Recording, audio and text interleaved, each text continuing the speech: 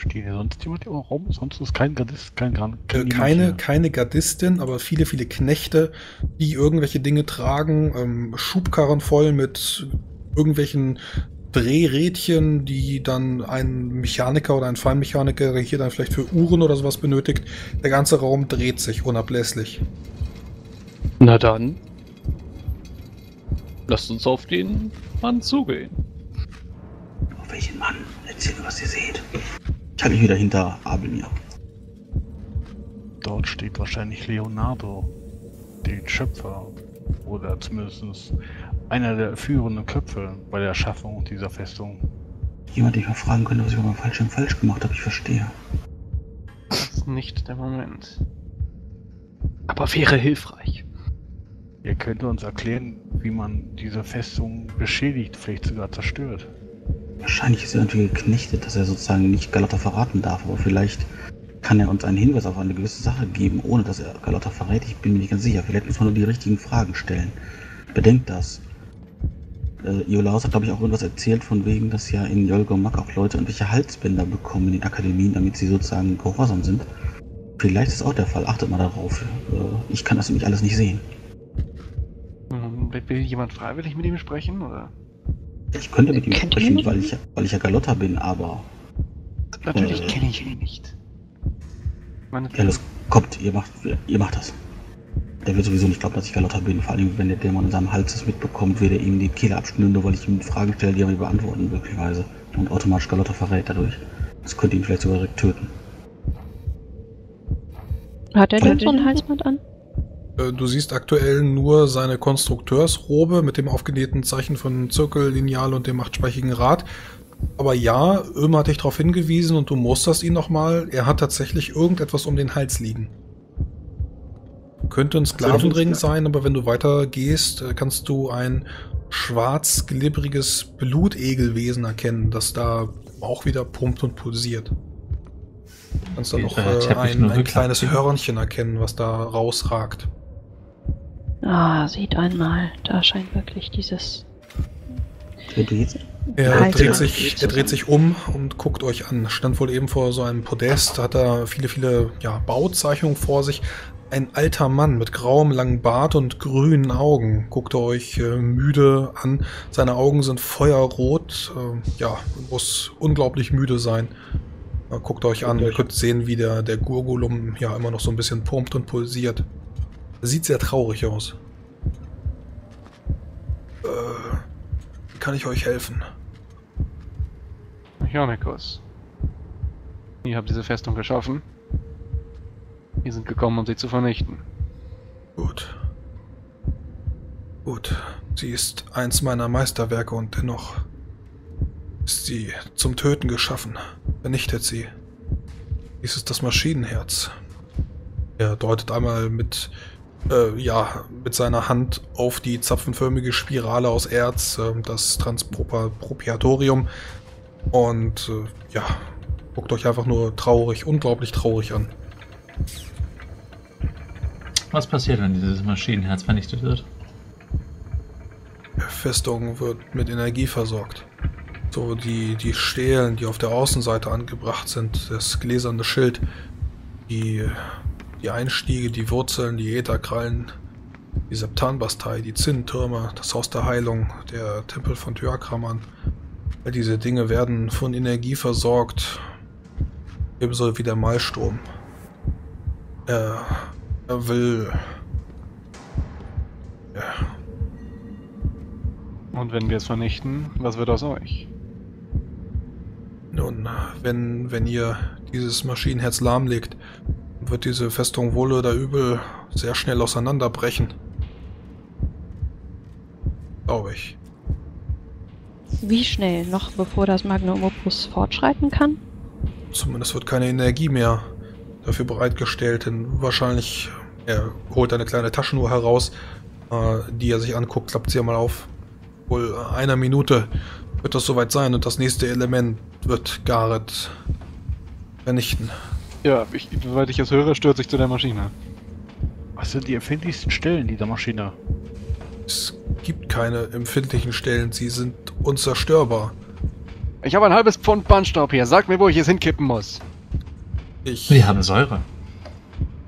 Ja, Königswasser. Königswasser. Her damit, herbei! Das könnte Hier. tatsächlich funktionieren. Mit einem Blick auf sein äh, Halsband.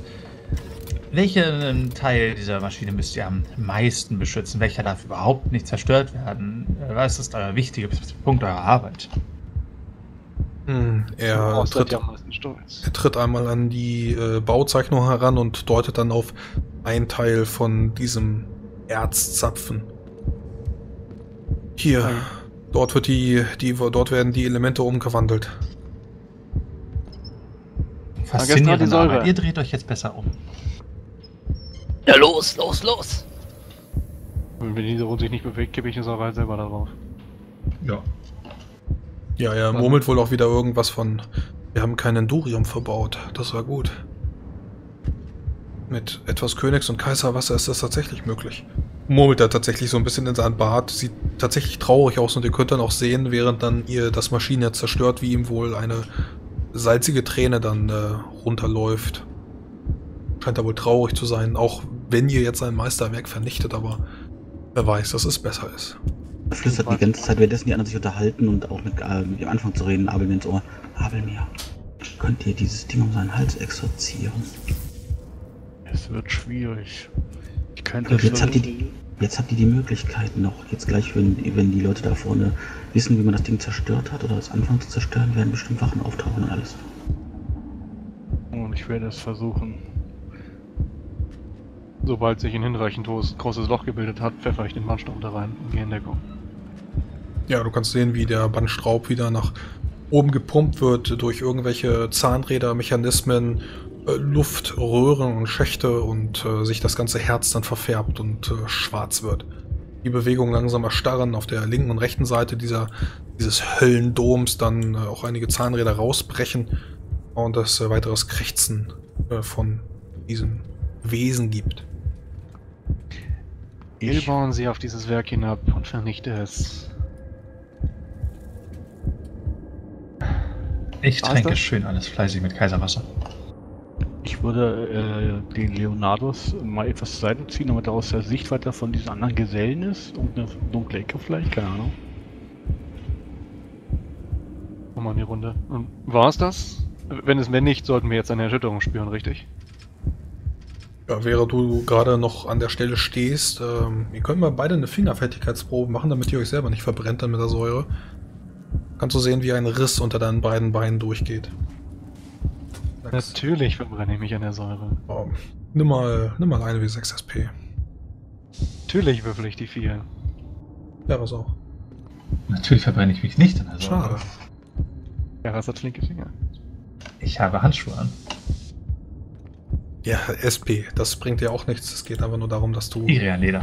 Ist es Ja, egal, wir, wir, wir reden hier von. Kaiserwasser. Die machen im Kaiserwasser Das nichts. löst alles auf. So. Äh, du siehst, wie ein riesiger Riss äh, durch deine Beine geht und die Festung bricht tatsächlich zu großen Teilen erstmal nicht auseinander, aber in kleine Stückchen. Falls jemand von meinen Gefährten in Gefahr ist, in eine Ritze zu rutschen, würde ich Ausschau halten und äh, ihn retten. Ja, Lane, ich glaube, es hat wirklich funktioniert. Ja. Die Götter gewähren uns Aufschub. Isarun, wie lange hält dieser Trank eigentlich noch an? Ich bin fast blind. Ich habe keine Ahnung. Das ist ein experimentelles Artefakt. Und meine Haare vermisse ich auch. Leonardo, Also, Mechanikos. wie- Ja, was? Es ist noch nicht zu spät, die letzte Buße anzutreten. Wie kann ich euch helfen? Ich frage, wie ich euch helfen kann. Eure Seele kann gerettet werden. Noch. Ihr habt den ersten Schritt getan. Aber wir haben nicht viel Zeit. Wenn ihr die Festung jetzt verlassen wollt, dann äh, es gibt sicherlich noch einige einige Schiffe, die von hier aus starten können, oder ihr könnt auch einige Karakile bemannen, wenn ihr wollt. Die müssten sicherlich noch irgendwo beschworen herumsitzen. Spreche von euch, Mann, eurer Seele. Was meint ihr damit? Kommt mit, wir können euch helfen. Wohin? Fort. Die Sterntreppe? Die, die Freitreppe? Schwarzen und roten Stufen. Wollte sie. Ich, ich folge euch, wenn ihr meint. Ich Gut, hatte, ich hatte angenommen, ihr wollt das zu Ende bringen.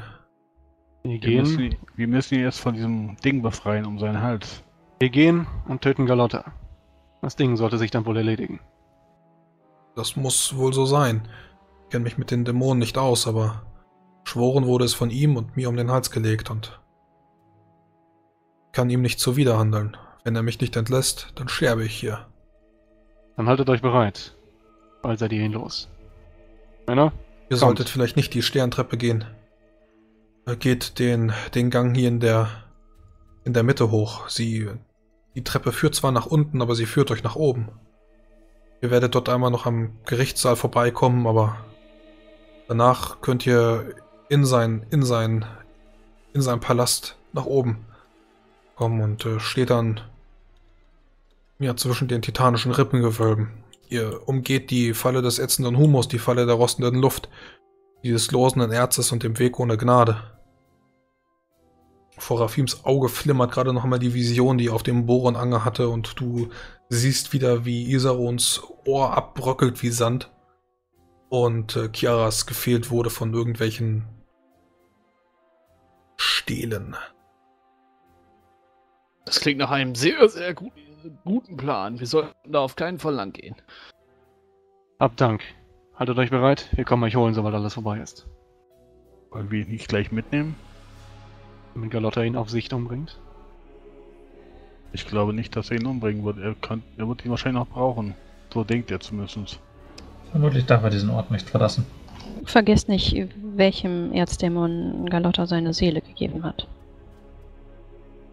Er handelt Gleichwohl. nicht unbedingt logisch. Gleichwohl, kommt jetzt. Gehen wir einen Gut. Heptarchen töten. Mögen die Götter mit dir sein, Leonardo. Ja, ich tätsche ihm auf die Schulter und lass ihn zurück. Ihr folgt dem Gang, regt nicht mehr ab in die, ja, in die Treppen nach oben oder in die Prunkgemächer von Galotta, sondern äh, folgt dem Weg, den Leonardo euch gewiesen hat, die geheimen Wege, um den Fallen zu entgehen und trefft dann nach äh, einigen vielen Metern weitere Geräusche, weiteres Brechen und das Pumpen hat auch aufgehört mittlerweile, äh, in einen Saal, den ihr erkennen könnt. Er ist ebenso groß, ebenso titanisch und leuchtet in einem ungesunden Gelb. Just bevor ihr dran vorbeigehen wollt, kann Jalan erkennen, dass dort jemand auf der Anklagebank sitzt. Großmeister Raferian. Sechs Hörner wachsen und ragen und wuchern ihm aus dem Kopf. Ferian. Wartet kurz, wartet kurz. Währenddessen kann Immer bemerken, dass seine Sicht wieder heller wird und du schrumpfst. Oh, ich glaube, es geht wieder zurück. Moment. Ich mach mal schnell den Riemen auf. Wachs meine Haare nach. Komm, komm, komm, komm, komm, meine Haare, meine Haare, meine Haare, komm, meine Haare. Du nimmst deine alte Gestalt an. Du wirst wieder kleiner, deine Stimme verändert sich wieder. Die wuchernden, wulstigen Dämonenmale bleiben nicht bestehen. Auch die Scharlachkappe bildet sich zurück, aber deine Haare behältst du trotzdem nicht. Oh, meine Haare. Ich hätte, ich hätte hier gerne Hisaru mit Glatze gesehen. Währenddessen schaut Jalan entgeistert den Großmeister, den Ordenshochmeister und Großinquisitor und Personalunion an. Wir müssen ihm helfen. Ich fürchte, ihm ist nicht mehr zu helfen. Bei diesen Dann müssen- Hörnern. Dann müssen wir ihm das Ende bereiten. Eins von beidem. Also gut, mach es schnell. Hol einmal Luft. Trete in den Saal. Ja. Du spürst wohl, wie er da murmelt. Er sieht kaputt aus, ebenso rote Augen wie die von Leonardo, übermüdet. Die Hörner wachsen, ragen, wuchern aus seinem Kopf heraus. Wie gesagt, sechs Stück an der Zahl. Er hat seine Beine angezogen und mit seinen Händen umschlungen und äh, weint da wohl bittere Tränen. Äh, so unsympathisch wie er dir in Werheim auch war, aber dieses Schauspiel für einen Großinquisitor ist absolut unwürdig. Und er ringt dort mit sich selber. Es gibt niemanden, keine Person, die hier irgendwo steht, keinen Richter auf der Anklagebank, nur er selber, der dort sitzt als Angeklagter. Murmelt. und dich dann aus weinenden roten Augen anblickt. Greifenmund, bitte töte mich. Aferian. Langsam näher. Bring mich Schwert- bitte um. Schwert halb gehoben. Ich. Verzeiht mir. Soll hier lösen. Und dann stoße ich ihm das Schwert zwischen die Rippen. Ja. Du siehst, wie Blut aus seinem Mund sprudelt und er dich lächelnd dankbar anblickt, dass du ihm diesen Tod schenkst. Deine Seele auf immer verloren, aber tot. Zumindest leidet er nicht mehr körperlich. Gibt zur Seite von der Bank weg und bleibt zuckend liegen. Ich wünschte, ich hätte euch vor all dem bewahren können. In dieser Dämonenscheiße gibt's nie einen Gewinner.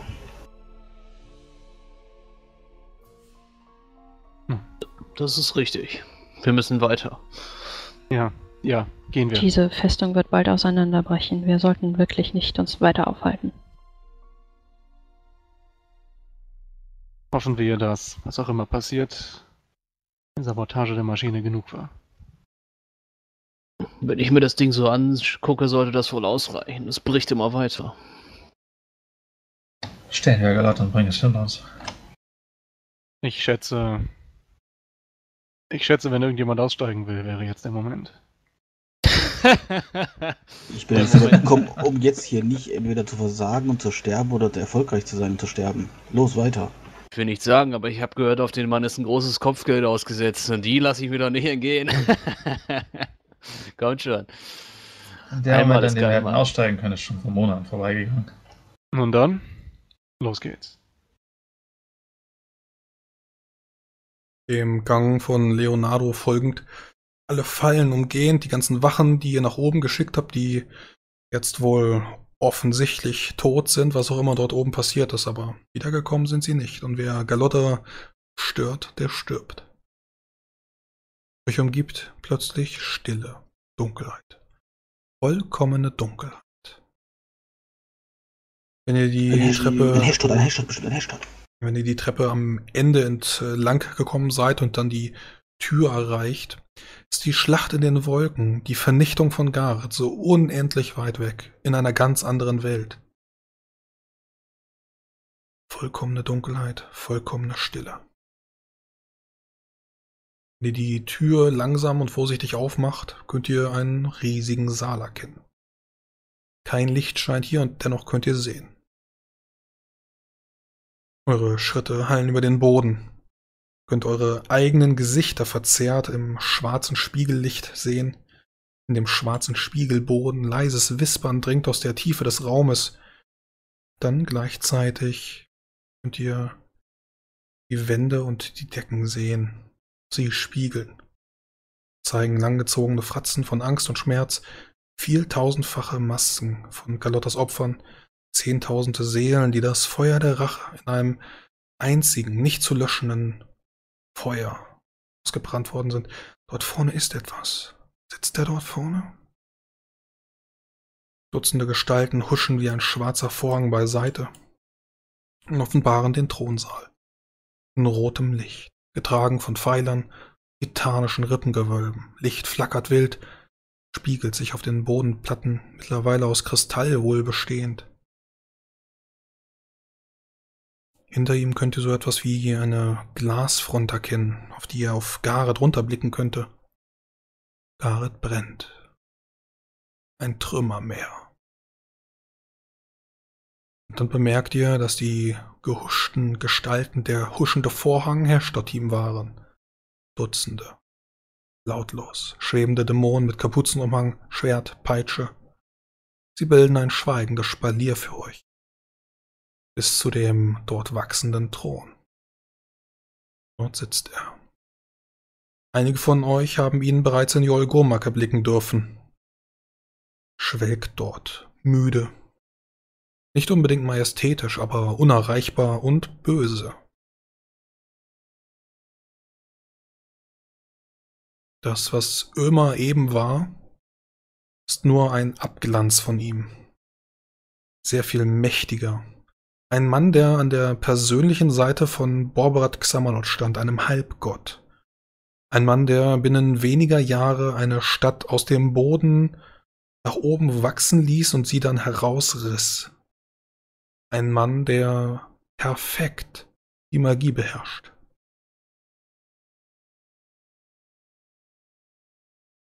Ich trete vor. Galotta!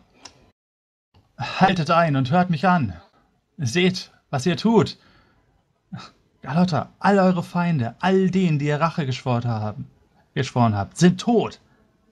All diese Leute dort unten, die Menschen, Frauen, Kinder, Unschuldige, niemand von ihnen hat euch je etwas getan. Niemand von ihnen wollte euch je etwas tun. Sie sind nicht das Ziel eurer Rache. Sie waren es nie. Seht doch nur, wo ihr steht. Ihr werdet benutzt, ausgenutzt. Der Drache, er hat euch verraten. Der Schelm, er hat euch verraten. All die, die euch Honig ums Maul geschmiert haben. Wo sind sie jetzt? Sie warten nur darauf, dass ihr fertig seid, um euch in den Rücken zu fallen. Seht doch nur, was ihr tut. Hm, was glaubt ihr, was passieren wird, wenn das hier fertig ist? Wenn ihr die einzige lebende Seele seid, hm, sitzend auf einem Thron von Knochen, umringt von Ruinen. Es gibt keine Version, wo ihr hier als Gewinner herausgehen könnt.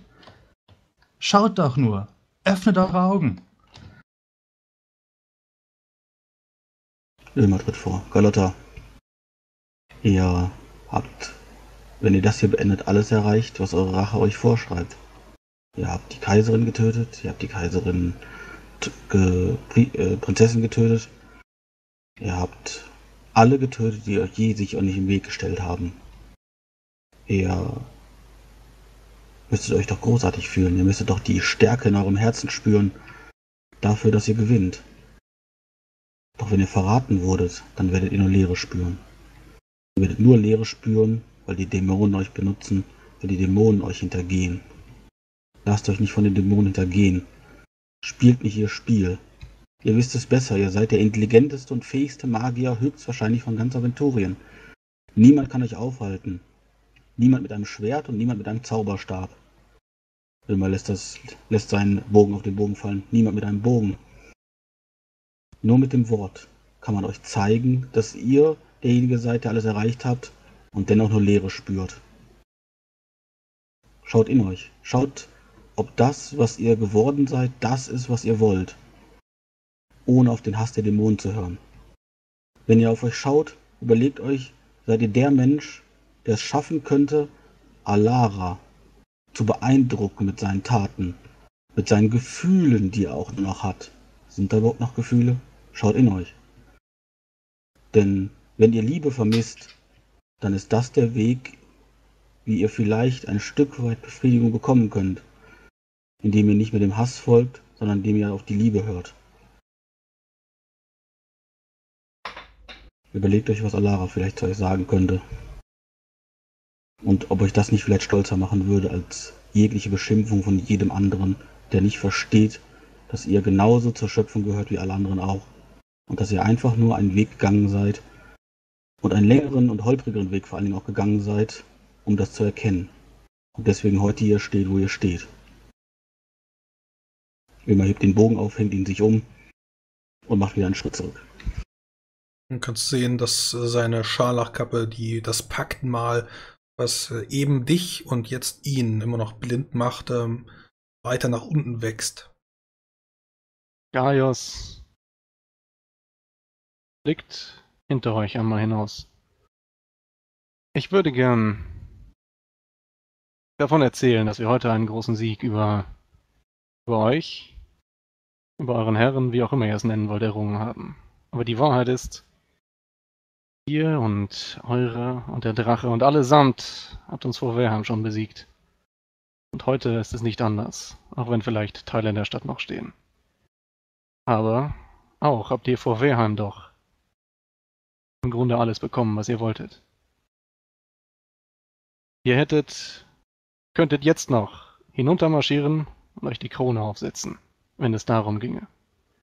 Und ihr könntet mit all eurer Allmacht den beiden Kaiserkindern den Garaus machen, die Familie von Gareth endgültig auslöschen.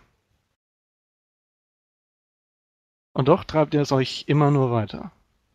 Denn, genau wie ich auch, handelt ihr nicht oder nicht nur nach eurem eigenen Willen, sondern nach dem meiner höheren Macht.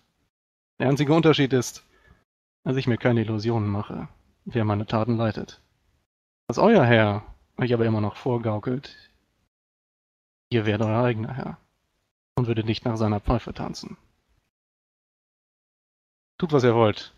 Deckt uns alle nieder, wenn es sein muss. Ihr könnt es wohl ohne Problem. Aber das wird euch nicht vor eurem eigentlichen Feind bewahren, der im Finsteren sitzt und auch an euren Strippen zieht. Die Garde aus Herr Stottim kommt näher auf euch zu. Schwert und Peitsche gezogen. Und ihr könnt sehen, wie ein gewaltiger, alles verzehrender Asquarat neben ihm sitzt, mit sechs Hörnern, die aus seinem Kopf wuchern. Nicht nur vier, sondern sechs. Streicht fast wie ein riesiger Stier um den Thron herum. Carlotta, ihr seid ausgezogen, um Gerechtigkeit zu finden, nach dem, was man euch angetan hat im Kaiserpalast. Ist es das, was ihr erreicht habt? Ist das hier wirklich Gerechtigkeit? Ihr seid nicht der, der ihr hättet sein können. Im Moment, im Moment folgt ihr der Rache und habt es schon seit sehr langer Zeit getan. Aber ihr seid anders erzogen worden und ich denke, ich hoffe, ich bete zu den Göttern, dass in euch noch ein Funke steckt, der nach der Gerechtigkeit statt der Rache strebt. Deswegen wollte ich euch an einen alten Freund erinnern, Paul Berra. Er hat es geschafft, seinen Pakt zu lösen. Ihr seid derzeit der mächtigste Magier in Aventurien. Eure Willenskraft muss genauso groß sein wie die von Polbera. Ihr könnt eure Seele noch retten. Löst euren Pakt. Der alte Mann sitzt ohne Bewegung dort wie eine Statue. Unbeteiligt. Ein schlichtes schwarz-rotes Gewand mit einem Borberat-Siegel darauf hüllt ihn ein. Streicht seine Kapuze nach hinten. Könnt immer noch die rot glühende Kappe sehen. Hellrotes, wucherndes Fleisch und Gewebe. Ihr könnt sehen, wie die Adern nicht nur nach unten wachsen über seinen Mund hinüber, sondern teilweise glimmt jetzt so sein Thron ebenso auf. Und den Rhythmus seines Herzschlages spüren. Die glühen, als fließe Feuer anstelle von Blut in seinen Adern. Die hageren Finger, sich um die metallene Armlehne seines Thrones graben. Ja, ich trete zwei Schritte nach vorne, deute mit meinem linken Arm auf den Mann auf dem Thron. Gaius Cordoban Islam Galata, erhebt euch von diesem Thron, denn ihr seid kein König, ihr seid ein Knecht. Ihr habt bei allem gescheitert.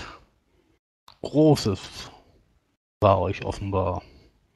Großes konntet ihr schaffen, doch ihr versagt. Ihr scheitert als Hofmagier.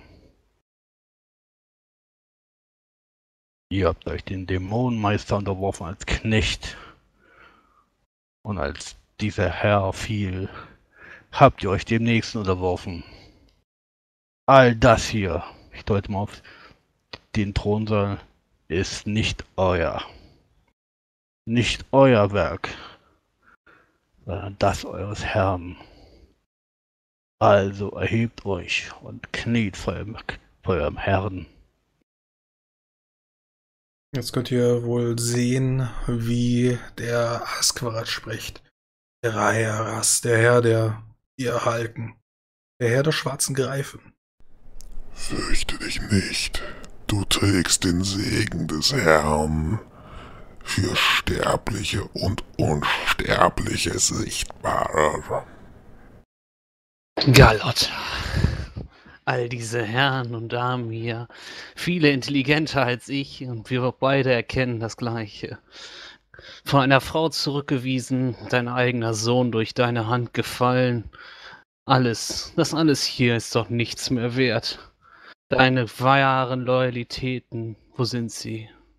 Nirgendwo. Untergegangen, verschwunden unter diesem scharlachroten Kappe. Keiner, kein einziger dieser, dieser Söldner, dieser Sklaven, die hier sind, würde für dich sterben. Sie würden sich alle zurückziehen, wenn sie könnten. Du hast hier keine Freunde. Deine Freunde, ja, wo sind sie? Wo sind sie alle nur hin? Alle tot, haben dich verraten, würden auf dich spucken, wenn sie könnten. Die einzigen, die dir noch geblieben sind, sind deine dämonischen Herren. Und das, das ist wirklich traurig für einen Mann, der mal so mächtig war. Für einen Mann, der Dämonen beschwören kann, wie vermutlich ich mein Schwert schwingen. Und trotzdem kniest du. Pah! Wie ein Sklave. Ja, geh zurück zu deinem Herrn, wenn er deine jämmerliche Seele überhaupt noch nehmen würde. Ah.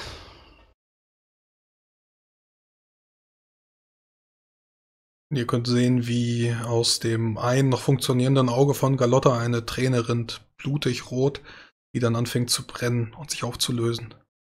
Dann dreht er seinen alten, müden Kopf in Richtung des Asquarat.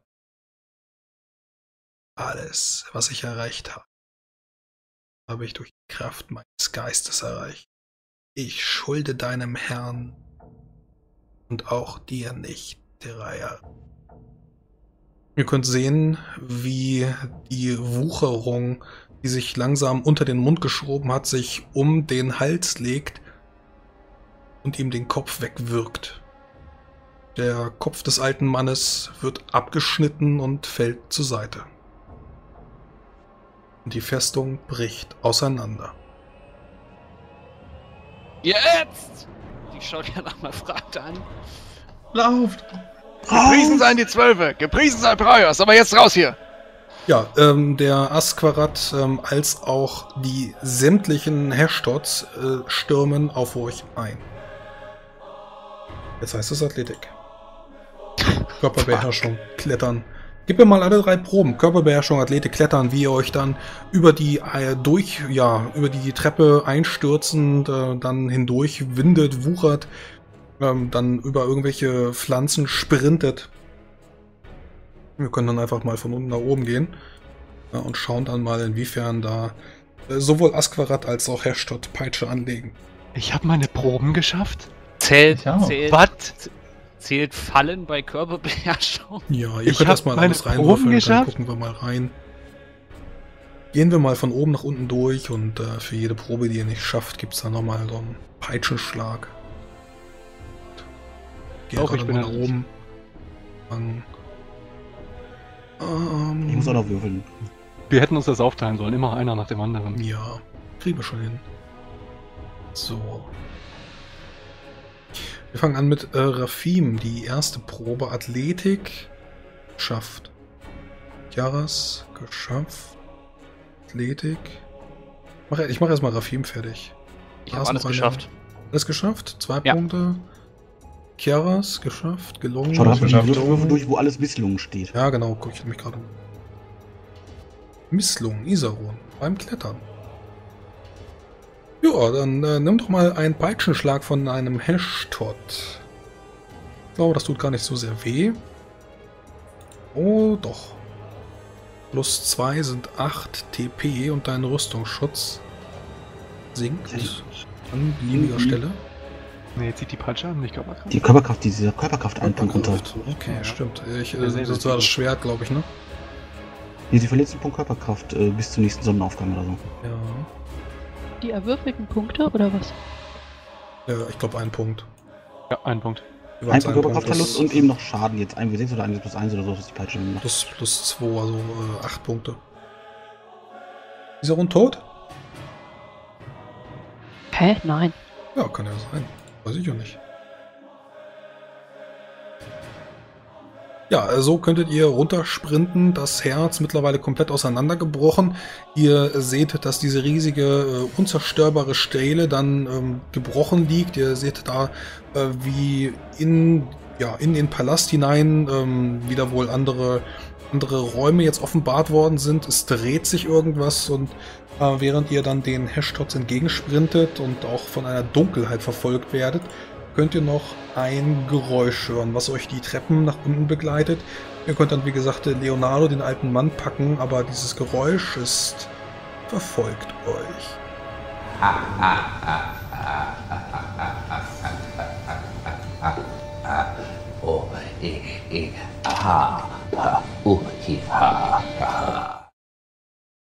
Und so rennt ihr durch die Gänge, durch die Katakomben. Andere äh, Wachen, die entsetzt äh, euch entgegenstürmen, euch nicht weiter beachten. Einige Hunde, die erschlagen liegen, mit ihren sechs Beinen von irgendwelchen anderen äh, Rissen in ja, die Abgründe gesogen und dort dann von irgendwelchen Wucherwurzeln dann zerfasert. Für den Agrimod-Splitter selbst habt ihr keinen Kopf. Und äh, so gemeinsam mit Leonardo rettet ihr euch auf eines der Schiffe. Er kann euch hier dann relativ gut durch seine eigene Festung lotsen und äh, legt euch dann auf eines dieser äh, Schiffe, dieser Balance und äh, lässt euch dann abgleiten. Er kommt nicht mit? Doch, er kommt selber auch mit. Also äh, sein, ähm, sein Gurgulum ist auch abgefallen, das könnt ihr tatsächlich erkennen. Und der setzt sich dann ebenso auf das Schiff hinauf und äh, stößt sich dann ab, sodass ihr dann durch den Himmel ähm, ja, der Festung noch einmal entgegengucken könnt, wenn ihr dann aus einem dieser Schleusen, aus einer dieser Röhren dann der Difas-Mantel ähm, hinaus äh, treibt, könnt ihr die Stadt sehen, wie sie auseinanderbricht. Die, ja, diese Stelen aus Arcanium, die dann die Festung teilweise mit in, mh, in die Sphären wieder treibt und sie dann äh, mit grauem, wabernden Limbusnebel zurückstürzen in die Sphären, aus denen sie gekommen sind, und andere Teile, die in die Stadt runterregnen. Ha, ha, ha. Die Stadt Aha. unter euch brennt und ist nur noch ein Trümmerhaufen. Gareth ist vernichtet.